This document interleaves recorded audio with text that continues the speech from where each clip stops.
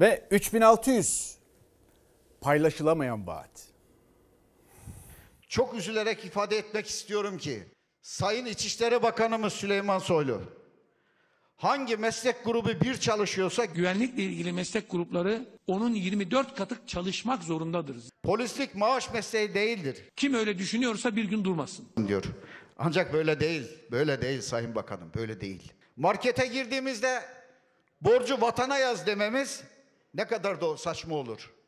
Çocuklarımıza harçlık için vatanseverliğimizi sıkıştıramayız ceplerine. Emekli polis İmdat Sami Çiftçi 3600 ek göstergeye nedenli ihtiyaç duyduklarını İçişleri Bakanı Süleyman Soylu'nun biraz da kırıldığı sözlerini hatırlatarak anlattı. Polislerle birlikte hemşireler, öğretmenler, din görevlileri 3 yıl önce verilen 3600 ek gösterge vaadinin gerçekleşmesini bekliyor.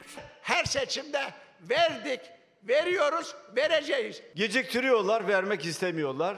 Ama mutlaka ama mutlaka bugün olmasa yarın 3600 ek göstergeyi alacaksınız. ek göstergelerini 3600'e çıkaracağız. 3600 ek gösterge meselesini seçimden sonra ele alacağımız konulardan biri de bu. Önümüzdeki yılın sonuna kadar çözüme kavuşturmayı planlıyoruz. İlk müjdenin ardından tam 3 yıl geçti. Verilen vaat yerini bulmadı. Cumhurbaşkanı Erdoğan kamu emekçilerini bir yıl daha beklemeye davet etti. Seçim öncesini 2022'yi işaret etti. taahhütte kalmasın hayata geçsin bu bir an önce.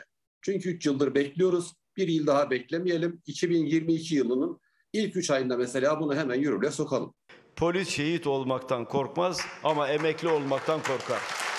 Artık geçinmekte zorlanan memurların ve emeklilerin gözü kulağı iktidardayken Çalışma Bakanı Vedat Bilgin Plan Bütçe Komisyonu'nda çalışmaların sürdüğünü söyledi. Ne çalışması yapıyorsunuz diyeceksiniz.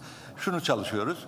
Ee, bir defa kapsamı ne kadardır? Hangi grupları ne kadar kapsayabiliriz? Bu hiç kimseyi dışarıda bırakmayacak şekilde tüm çalışanları kapsayacak bir düzenlemeye e, ihtiyacımız var. Bunun e, maliyeti ne olur?